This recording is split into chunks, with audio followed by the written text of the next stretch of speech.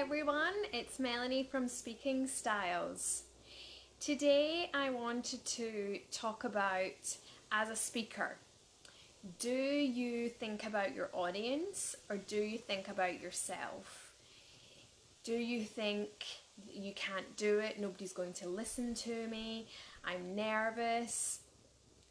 Do you think along those lines before you get up to talk in front of people? And when we do that, we actually are not thinking about our audience. We're not thinking about how we can actually help them. And we have four fears when we communicate with people. We have the fear of failure, we have the fear of humiliation and embarrassment, we have the fear of about to lose control, and we also have fear of rejection. Thinking of those fears thinking which one of those relates to you when you're talking in front of people. Because then you can work on some steps to overcome that. If it's humiliation and embarrassment, is that because you don't feel confident to get up and talk of people? What can you do to be able to overcome that? What baby steps can you take? Whether it's to practice, whether it's to do it in front of other people to start getting comfortable is it fear of rejection because you think that nobody's going to like what you have to say?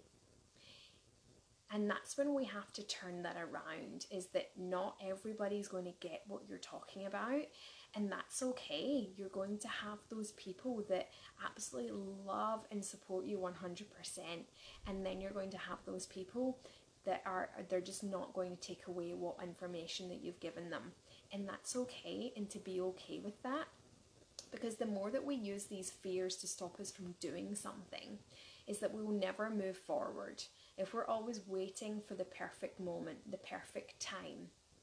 And a lot of my clients will express this that certain fears that they have, they're waiting for the perfect moment. And that's what I find a lot is that people wait for the perfect moment to do anything when they want to be a confident speaker is that they want to have the right message, the right questions to ask people, and you'll never get started. So get started today. Think about those fears, think about what holds you back, and writing down some steps in order to overcome that. And if anybody needs any help in those areas, then please get in touch with me because I can help you.